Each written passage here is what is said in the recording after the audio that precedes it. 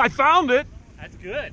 That's all I care. Oh yeah. I just made everybody else nuts with the noise. I heard it pop and I'm like, not again. I tightened it with a channel lock. And then I realized it was coming from back here. Back there. And I just put a screw in that too. Oh man. Oh well, that's what you find out when you're out here riding. That's what it's about. Yep. Ran good, pretty damn good though. So I'm happy. Now is that the dirt squirt? Ace 100. Is that the Ace 100? Yeah, and that's what's so tough about this is it's that from first gear to second gear, you got that huge jump. Yeah. So all these hills, I'm in first gear, just basically walking.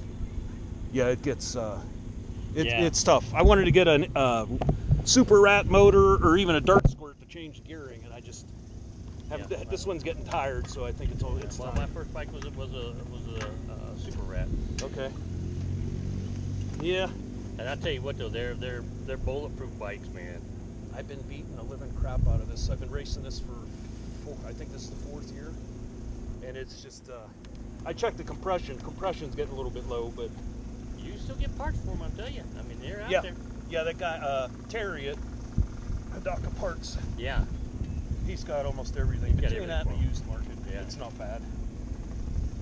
But you know, people don't realize back in the days, in the, in the, in the early 70s, okay, these dominant, before Suzuki TMs come out, these dominated, man. Oh yeah, oh yeah. Yep, it's a shame they didn't keep up with the technology, but Yeah, yeah. that's what vintage is about, though. Well, you know what? That's, what it did, is it, it just created other opportunities, okay? And now all these old vintage bikes are coming back. Yep. I mean, that's, I mean, I mean, that's just like the, you know, the Rokon, okay? You know, in the 70s, they dominated, okay? And now, you know, the C1, okay, is like, you know, it's almost, they're, they're extinct. Yeah. Yep. Yep. Well, you got more work to do.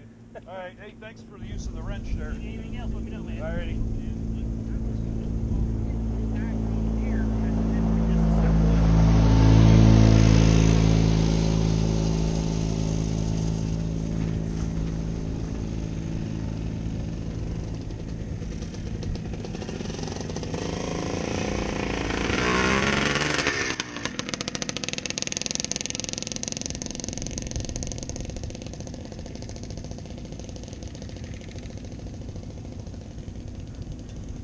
I am fucking deaf.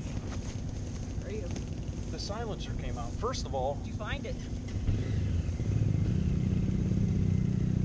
the header thing came on twice. I'm trying to tighten it by hand.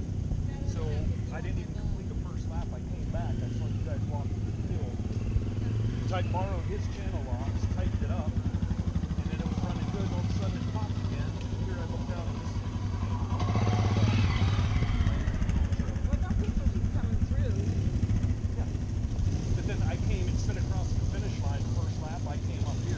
Okay, so. this, and then I went back down this way, and I saw you guys walking the other side of the barn. So you went through, you went through the, the food case toolbox.